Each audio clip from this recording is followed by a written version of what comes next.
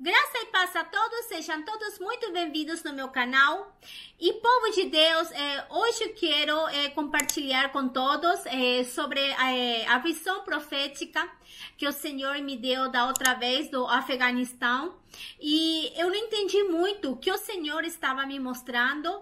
E verdadeiramente o Senhor, ele não nos deixa confundido. E na quinta-feira, enquanto estava lá no meu trabalho, o Senhor me trouxe a revelação e eu fiquei muito surpreendida e povo de Deus, eu quero estar compartilhando o que o Senhor me revelou, porque eu acredito que Estamos nos últimos tempos, tudo está acontecendo. Então, pela misericórdia de Deus, se você está me ouvindo, não dorme.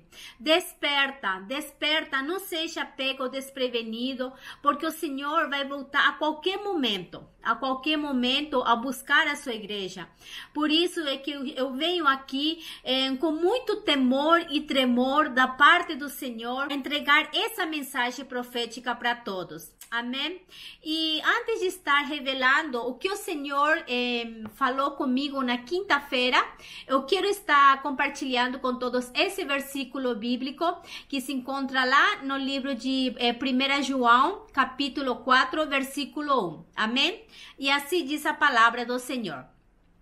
Amados, não acrediteis a todo espírito, mas provai se o espírito são de Deus porque já muitos falsos profetas têm levantado no mundo. Olha só, povo de Deus, como que a palavra nos instrui para que nós tenhamos cuidado é, com os falsos profetas, porque está cheio, está no mundo inteiro. Por isso nós temos que verdadeiramente ter o discernimento de quem vem de Deus e quem não vem de Deus, pelo motivo que não podemos estar dormindo. É tempo de despertar. Povo de Deus, vamos despertar e que vocês possam sempre lembrar desse versículo bíblico. Amém? E o segundo versículo que quero compartilhar com todos se encontra lá em 2 de Pedro, eh, capítulo 1, versículo 22. Amém? Porque a profecia nunca foi produzida por vontade de homem algum, mas os homens santos de Deus falaram inspirados pelo Espírito Santo. Amém? Até ali. Então, nós sabemos que toda revelação eh, vem do Senhor, nada vem do homem. Por isso, o povo de Deus vamos estar sempre eh, tomando cuidado, como já falei, eh, estamos nos últimos tempos, verdadeiramente vendrão muitos falsos profetas, muitos que se diz que vêm em nome do Senhor, mas na verdade são lobos. Por isso que nós temos que ter cuidado e em todo tempo. É, a primeira coisa que eu peço para todos, olhem sempre a vida do profeta para que vocês não possam estar sendo enganados, porque na palavra nos diz que toda árvore se conhece pelos frutos. Então sempre estejam olhando é, a vida do profeta. Amém? E amados, em sem perda de tempo, eu quero estar compartilhando essa revelação. É, para mim, é, povo de Deus, é uma revelação, é, uma revelação bombástica, porque é, eu estava trabalhando, era mais ou menos uma, é, uma e meia da tarde, e ali, de repente, eu tive a visão, eu tive essa visão relâmpago de novo do que o Senhor me mostrou sobre o país do Afeganistão, que é, para quem não viu esse vídeo, é, por favor, é, procura ali no meu canal. Eu vou estar deixando na descrição para que vocês é, possam estar é, assistindo, quem não assistiu. E aí, é, eu teve de novo a visão com as mulheres. E aí, nesse momento, eu assustei, eu assustei, eu larguei o que estava fazendo e falei assim, meu Deus, o que que é isso? Que o Senhor está me revelando. Porque o Senhor está me dando de novo essa visão. Aí eu continuei trabalhando, né? Na verdade, assim, fiquei assustada, mas deixei para lá. Aí, pela segunda vez, eh, o Senhor vem e fala comigo, eh, você entendeu o que você viu? Eu falei, não, Senhor, eu não entendi, porque eu estou vendo de novo. E aí o Senhor falou assim para mim, é, a perseguição da igreja vai começar vai começar. E, e eu fiquei assustada, porque eu falei assim, por que o Senhor está falando isso comigo? Aí Deus me fez entender, é, você viu as mulheres em, com aquela com aquela roupa que elas usam, que os é, que o país do Islã usa, aquela roupa preta. Tem outro que dá para ver só os olhinhos, né? O que eu vi que dava para ver só os olhinhos e as mulheres estavam chorando. É, não sei como que chama, é, tu, é, aí eu nem sei como que chama. Eu, eu até pesquisei o nome, mas acabei esquecendo. É, desculpem, gente. Mas é, eu sei que é, aí nesse momento eu recebi a revelação e o Senhor falou assim para mim: é, isso daí significa a censura, a censura que vai estar acontecendo com o meu povo. E aí, nesse momento, eu fiquei tão assustada, gente, que não estava acreditando, que eu estava ouvindo, que estava recebendo do Senhor, não estava acreditando. Eu falei assim, meu Deus do céu, nunca passou isso pela minha cabeça. No momento que eu teve é, é, a visão, eu não pensei, eu, eu pensei, falei assim, nossa, o que vai estar acontecendo nesse, nesse país? Algo vai estar acontecendo. Porque, queira se queira, nós sabemos que um país que realmente eles perseguem os cristãos, né? O país do Afeganistão é um país que persegue é, é, os cristãos e também é, eles não cuidam das mulheres, das crianças, eles não, não têm eles não têm respeito pelas mulheres e pelas crianças. Então eu entendi que, que representava isso a igreja do Senhor. Representava a inocência, a igreja do Senhor e que aquele véu que elas usam significava a censura. Que verdadeiramente a igreja do Senhor eh, vai entrar em perseguição. Eh, quando eu, eu compartilhei com algumas pessoas e as pessoas falaram assim para mim, não, mas já começou. Sim, já começou, mas não, não da tal maneira que o Senhor me mostrou. Povo de Deus, é, lembrem, lembram que eu falei que eu vi homens com facão que é, teve que eles me, me levaram em cautivério. Vocês entendem, vocês entendem isso? Eles me levaram em cautivério e, e me fazendo que eu falasse a profecia que Deus tinha entregado para mim, que eu tinha que estar falando é, com eles.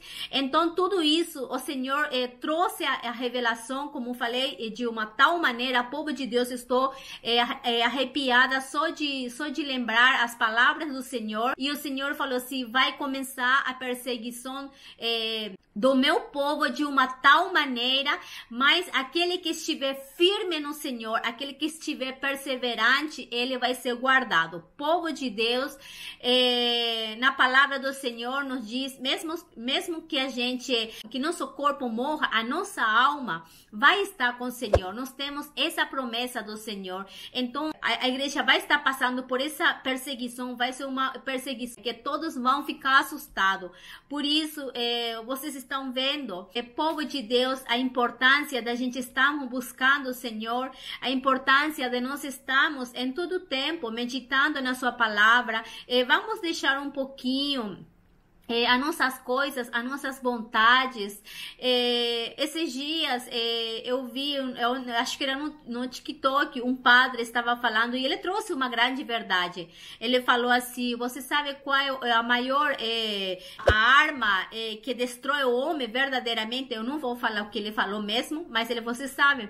Aí, e aí ele falou porque o celular ele acabou com tudo, né? E também está acabando com a família, está acabando com casais, com tudo. E isso é uma verdade. Mas é, povo de Deus Deus nos deu a, a, tecnologia para que também nós, nós possamos usufruir como filhos de Deus, que nós possamos aproveitar eh, o que Deus nos deu para que a gente possa, eh, levando a palavra do Senhor, a gente possa estar compartilhando com as pessoas. Eh, Niki, eu estou fazendo essa intercessão para que nós possamos interceder pelas crianças. Eh, toda vez que eu abro uma, uma notícia, eu me encontro com uma criança que foi sequestrada, uma criança que, que foi foi ceifada. É, toda vez, povo de Deus, isso entristece meu coração. Eu não sei vocês, mas é, quando eu chamo, quando eu faço esse chamado, é, poucas pessoas são o que verdadeiramente estão se dispondo para nós estamos intercedendo pelas crianças, porque como eu falei na live, ainda não chegou é, dentro do solar, ainda não aconteceu, mas não se, não esperem que aconteça isso. Vamos nos colocar no lugar dos pais, das outras pessoas que estão sofrendo sofrendo pelas suas crianças. Povo de Deus, nós temos que nos unir mais que nunca e, e não ter um, um pensamento egoísta, mas que verdadeiramente nós possamos ser servo do Altíssimo.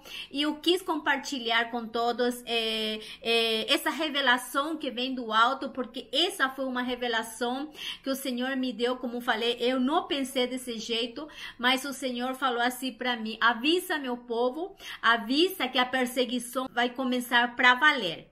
Vai começar para valer, vai ser, vai vocês vão ficar é, chocados com tudo que o homem, é, usado pelo inimigo das nossas almas, eles vão fazer para tentar impedir a igreja do Senhor.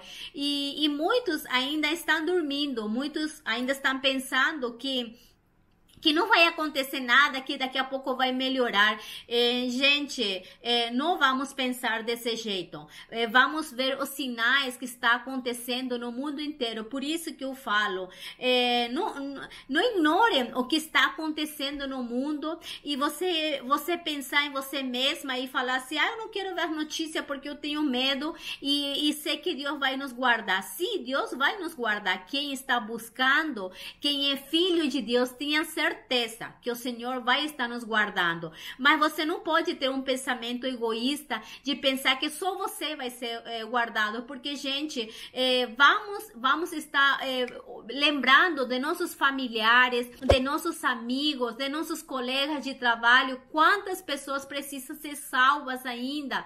Povo de Deus, vocês, vocês mesmos estão vendo o que está acontecendo no Brasil, quantos têm se levantado a contra, quantos não estão fazendo, até os próprios filhos de Deus não estão tendo entendimento. Por isso que nós temos que despertar, é, igreja do Senhor. Eu estou com o coração tão quebrantado, vocês não imaginam. É, na verdade, para me vir, eu fiquei falando para o Senhor, Senhor, é, Senhor, que o Senhor possa estar me dando força, porque é muito forte que eu estou trouxendo. E todas as profecias que eu traio em nome do Senhor, é, povo de Deus, é, não pensem por mim, não pensem por mim, mas é, se lembre que nós precisamos compartilhar a palavra do Senhor, porque querer saber, gente, é, o canal vai ficar, o canal vai ficar, mas é, o que arde no meu coração, que verdadeiramente as vidas se salvem e que verdadeiramente eu possa estar levando vidas para o Senhor, almas, porque o mais importante é para o Senhor são as almas. Ele veio nesse mundo, entenda, povo, ele veio nesse mundo entregar a sua vida para que todos se salvem, para que todos. Então não vamos pensar em nós mesmos, não vamos pensar, ah, não, ela está querendo ganhar com o canal dela. Ah, você fala assim, nada disso, nada disso. É, eu tenho experimentado do Senhor, o Senhor tem me abençoado de uma tal maneira, povo de Deus, que, que eu quero que vocês conheçam a grandeza do Senhor e tudo que nós fazemos é, para Deus vai, vai ser consequência. Tudo que o Senhor é, venha nos abençoar é, venha verdadeiramente que nós possamos receber, que nós é, sejamos abençoados por Deus é, por, é porque realmente nós mereçamos. Então não vamos ter um pensamento ego, egoísta, ignorar e como falei, vamos estar nos unindo em oração pelas crianças, porque Deus pode ouvir o nosso clamor. E eu creio, povo de Deus, que grandes coisas o Senhor pode fazer se todos nós nos unimos é, em prol é, das crianças pequenininhas, porque elas também eh, estão sendo caladas, elas também estão sendo ceifadas para futuro da manhã, até Jesus voltar, porque ninguém sabe o que vai estar acontecendo. E o último versículo que eu quero estar compartilhando com todos se encontra lá no, no Amós, capítulo 3, eh, versículo 7. Certamente o Senhor Deus não fará coisa alguma sem ter revelado eh, o seu segredo a seus servos, os profetas. Amém? E eu fico com essa palavra, povo de Deus. Deus sempre revela a seus servos. Eh, como... Então vamos estar sempre atentos e vamos sempre estar vigilantes e buscando o Senhor em todo o tempo. Amém? Deixe essa mensagem profética que vocês possam eh, compartilhar com o máximo de pessoas, povo de Deus não é para mim. É, acreditem, é para o Senhor, é para, é para a obra do Senhor, para que nós possamos resgatar almas para o Senhor. Então vamos trabalhar é, para o Senhor enquanto nós podemos trabalhar. Amém? Amados, muito obrigado por estar me acompanhando até o final. Que a graça, a misericórdia do Senhor esteja sobre as nossas vidas, que nunca nos falte o pão de cada dia e vamos estar em todo tempo eh, buscando, porque acreditem, povo de Deus, a, a, perseguição da igreja vai começar de uma forma violenta. Eu quero que vocês entendam essa mensagem que o Senhor eh, me revelou para que eu possa estar compartilhando com todos, com seu povo. Amém? Deus abençoe a todos e a gente se encontra no próximo vídeo. Tchauzinho!